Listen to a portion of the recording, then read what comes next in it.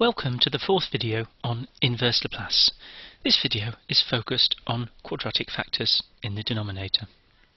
We're going to assume that students are already competent on the basic inverse Laplace techniques with simple factors, so they can use the cover-up rule for simple factors and the expansion, expansion technique. In essence, anything covered in the first few videos. This video is going to focus on how you deal with quadratic factors which will arise when you have complex poles. So first, let's remind ourselves about the lookup table. Now, we've dealt with the first four factors really in the first two videos. That's uh, simple steps, ramps, um, and exponential signals. Now, we want to look at signals of this form, let's say sine and cosine, which you will see have quadratic denominators. Or you could have decaying sinusoids, which you see have a slightly more complicated denominator, but still in quadratic form. Let's remind ourselves of the key steps in an inverse Laplace procedure. The first step is to identify the denominator factors r, i of s. And these need to be quadratic factors where the roots are complex. The second step is to do the partial fractions. That is to take your original transfer function q over p and write it as c1 over r1 plus c2 over r2 all the way up to cn over rn, where the ri of s are in minimal form, where minimal form will be something like s plus a for real roots and a quadratic for complex roots. Step 3 is by inspection um, from the table once you've got the partial fractions in the appropriate form. So what do we do with these quadratic factors? The first thing is to identify the key structure. So we've got forms alpha of s over s squared plus omega squared, and these correspond to terms sine omega t and cos omega t. So in other words, if you see a denominator of the form s squared plus omega squared, it tells you you've got a sine and a cos component in your solution. Alternatively, if you see a denominator of the form s plus a all squared plus omega squared, you've got signals of the form e to the minus at sine omega t or e to the minus at cos omega t. How much sine or cos depends on beta of s. So what do we need to do next? We need to rearrange the numerators so they also match the forms in the table. So we're going to show this on the next slide so you get the idea of what we're trying to do. Let's assume we've got a transfer function, here it is, q over d of s times s plus a all squared plus omega squared. So the d of s can be a lot of simple roots of other things, but not too interested. But what we've identified is there's a quadratic factor, the s plus a squared plus omega squared. Now what we're going to do is we're not going to write that as a single c1 over r1. Instead, you'll see we've written it down as two separate terms. The first term corresponds to an a e to the minus at sine omega t, and the second one corresponds to a b e to the minus at cos omega t. So we've looked at the forms we have in the table and we have deliberately written our partial fractions to be made up of the forms in the table. Hence on the left, a omega in the numerator, and on the right, b times s plus a in the numerator. Alternatively, if we've got something of the form s squared plus omega squared in the denominator, then our partial fractions are going to be made up of a term a omega over s squared plus omega squared, and that corresponds to an a sine omega t, and bs over s squared plus omega squared, and that corresponds to a b cos omega t. Now, just to remark, if there are lots of quadratic factors in the denominator, then you shouldn't really be getting this in an exam. Certainly you would never get it from me, because that seems to be algebra for the sake of it, which rather defeats the object. If it were me, and that were the case, I'd say use a computer. So we've got an example now, a numerical example, of how to do partial fractions when you've got a quadratic factor in the denominator. And you'll notice we're starting with a very simple example where the whole denominator is just a quadratic, quadratic factor. So what's the first step? You'll see I've put it in this balloon here. Rearrange the denominator into a form in the table. Well, you can see what the denominator is, s squared plus 4s plus 13. So if we put that in the form in the table, there it is. You can see we've got s plus 2 all squared plus 3 squared and that matches one of the e to the minus at sine or e to the minus at cos terms. Next, we need to look here and say, alright, but the numerator doesn't match the form in the table, so we now need to match the numerator. So here comes the second step. We say, what forms in the table have this denominator? So here they are. We've got the form 3 over s plus 2 all squared plus 3 squared, and that corresponds to an e to the minus 2 sine 3t.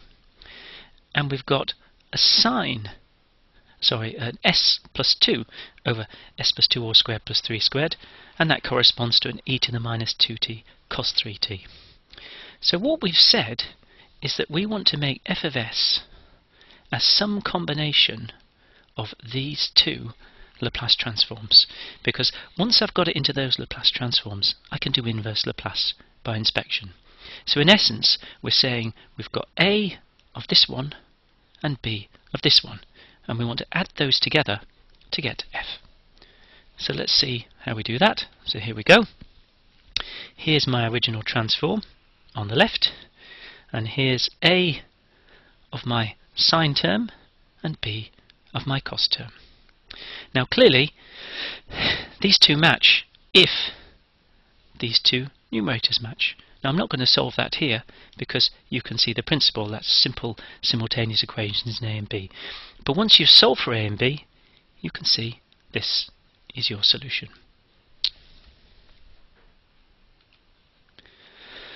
Right,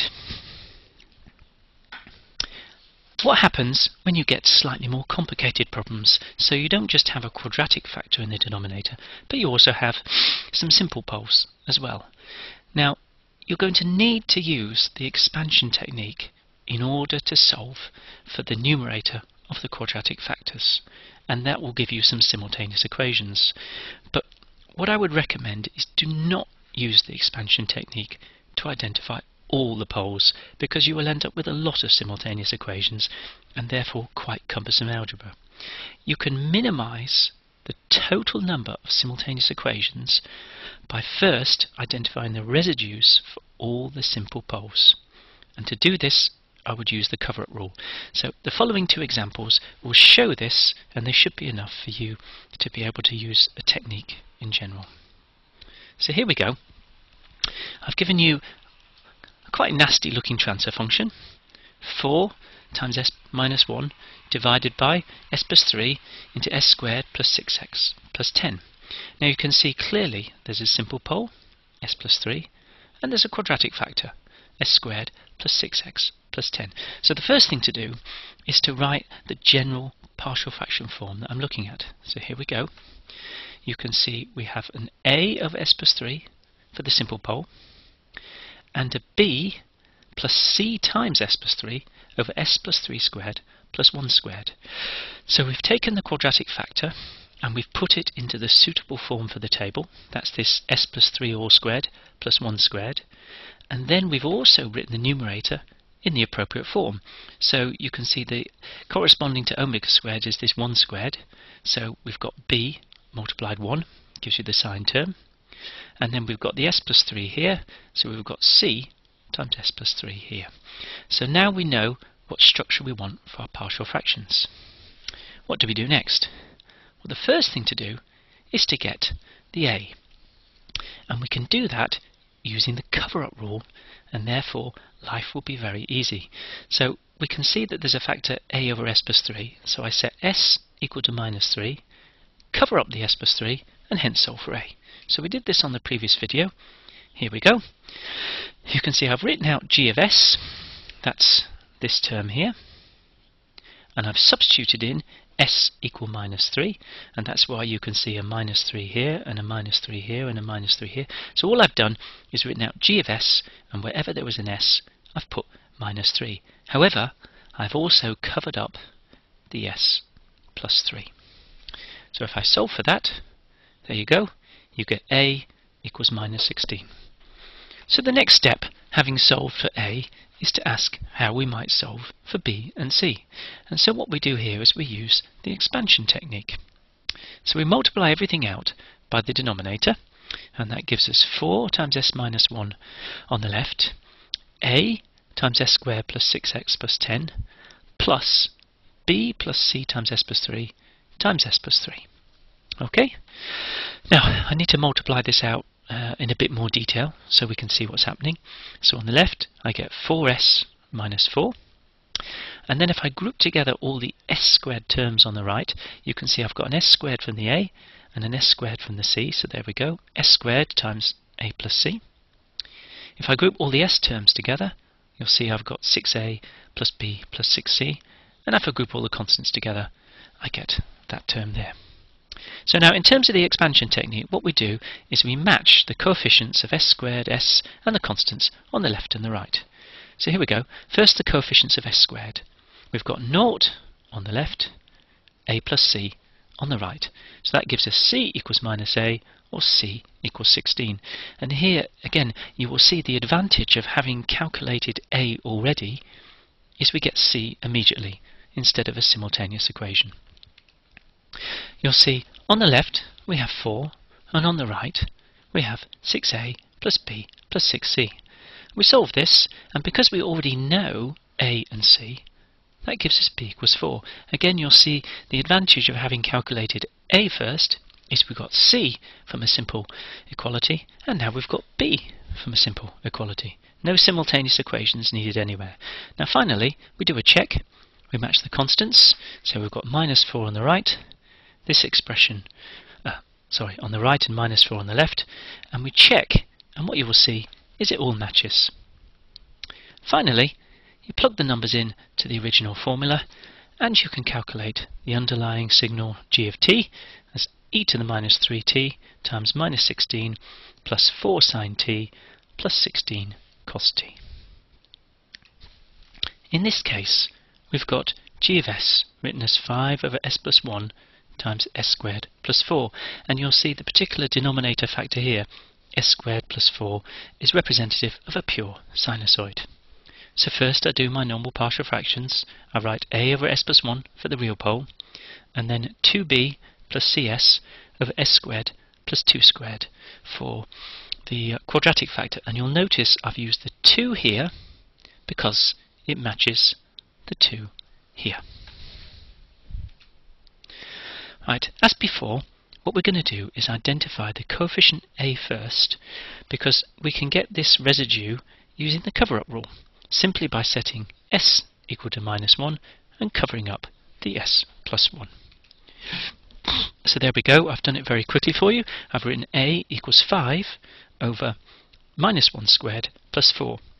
And you'll notice this is equivalent to g of s, but with the s plus 1 cancelled. So you could say it's the same as g of s times s plus 1. Now, we use the expansion technique to determine the remaining two coefficients. So I multiply out by the denominator, and here we go, 5 on the left, a times s squared plus 4, plus 2b plus cs times s plus 1 on the right. If I expand that out in more detail, 5 equals s squared times a plus c plus s times 2b plus c plus 4a plus 2b. And now we use the standard, standard trick of equating coefficients of s squared, s, and the constant.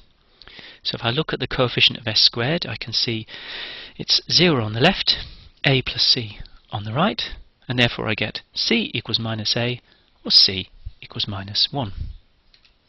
If I look at the coefficients of s, I've got none on the left, 2b plus c on the right, and therefore b equals 0.5. And then finally, I look at the constants just to check that I've not made a silly error. So I've got 5 on the left, 4a plus 2b on the right, and I check that that actually matches. And hence, if you look at the overall solution, g of s becomes 1 over s plus 1 plus, oh, that should be a 0.5 times 2, minus s over s squared plus 2 squared, and that corresponds therefore to an e to the minus t plus 0.5 sine 2t minus cos 2t.